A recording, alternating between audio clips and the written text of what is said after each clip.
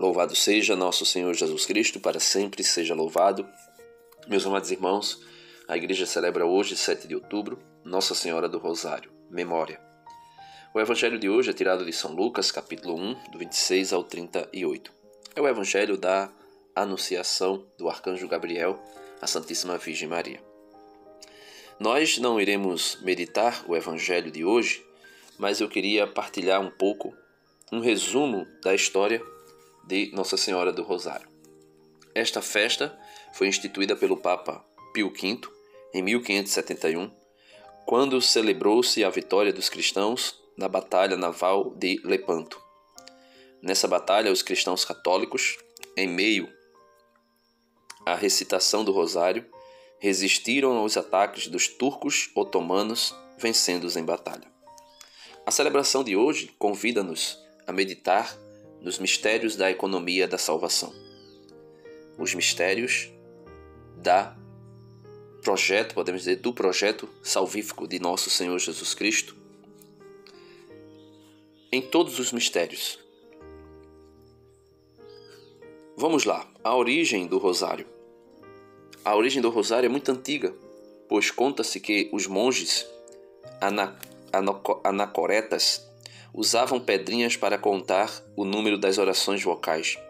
Desta forma, nos conventos medievais, os irmãos leigos, dispensados da recitação do, do saltério, pela pouca familiaridade com o latim, completavam suas práticas de piedade com a recitação de Pai Nosso. E, para o, a contagem, o doutor da igreja, São Beda, o venerável, do século VII ao século VIII, havia sugerido a adoção de vários grãos enfiados em, em um barbante.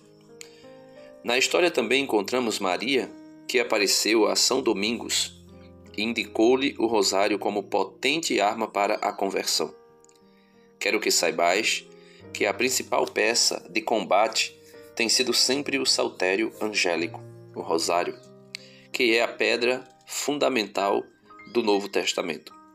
Assim quero que alcanceis, alcances estas almas endurecidas e as conquistes para Deus com a oração do meu saltério. Essa devoção, propagada principalmente pelos filhos de São Domingos, recebe da Igreja a melhor aprovação e foi enriquecida por muitas indulgências.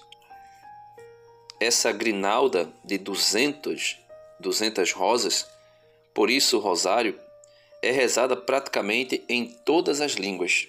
E o saudoso Papa João, João Paulo II e tantos outros papas que o precederam recomendaram esta, sim, esta singela e poderosa oração, com a qual, por intercessão da Virgem Maria, alcançamos muitas graças de Jesus, como nos ensina a própria Virgem Santíssima em todas as suas aparições.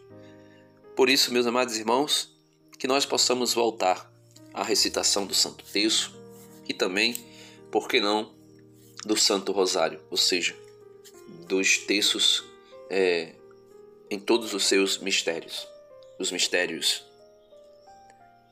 é, gozosos da infância, os mistérios luminosos da vida adulta e missionária de Cristo, os mistérios dolorosos de sua paixão, morte e ressurreição, e os mistérios gloriosos, né? os mistérios dolorosos, melhor dizendo, de sua paixão, e os mistérios gloriosos de sua ressurreição, ascensão aos céus e também vinda do Espírito Santo, como também a Assunção da Santíssima Virgem Maria e a sua coroação de glória como, vamos dizer, um protótipo de toda a igreja futura na glória. Então, voltemos à recitação do Santo Rosário, essa arma poderosa contra o inimigo e uma arma poderosa de santificação e de conversão. Amém.